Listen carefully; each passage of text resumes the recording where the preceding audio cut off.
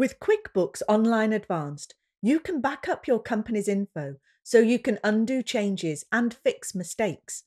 Let's go over how to find your backups and how to restore your company to a previous date and time. To start, go to Settings and select Backup Company. You may need to sign in with your email and password. The home page is where you'll see a list of your backed up companies. If you don't see your company listed here, select Add Company. Select the missing company from the drop down menu and select Next. You can assign a new admin for online backup and restore data in that company by selecting Assign Admin. Confirm by selecting Yes, Assign. Select Turn on Backup for any company you want to protect. QuickBooks will start your backups, and from now on, you can restore your info to a previous point in time because Backup and Restore tracks most changes to your company's data. Select Backup to get more info on the backups QuickBooks automatically creates.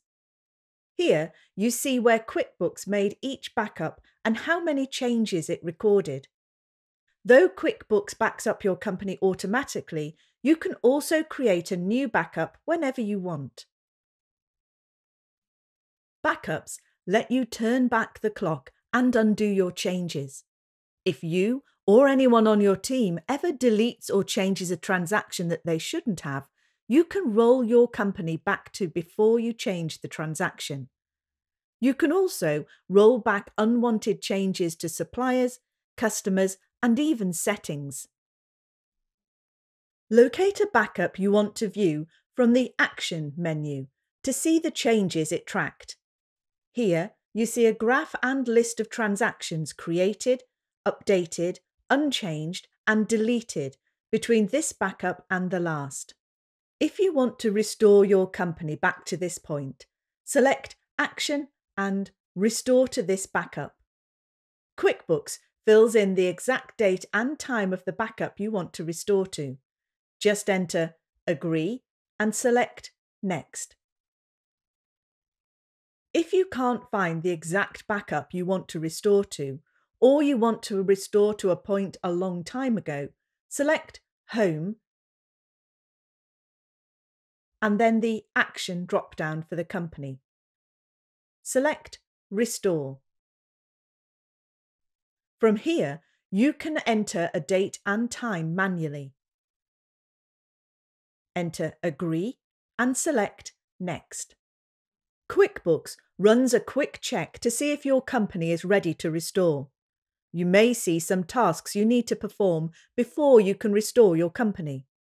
Select the link next to the task and QuickBooks takes you to where you can do it.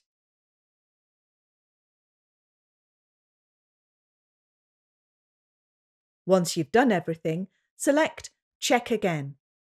If you don't see any more issues, select Start Restore.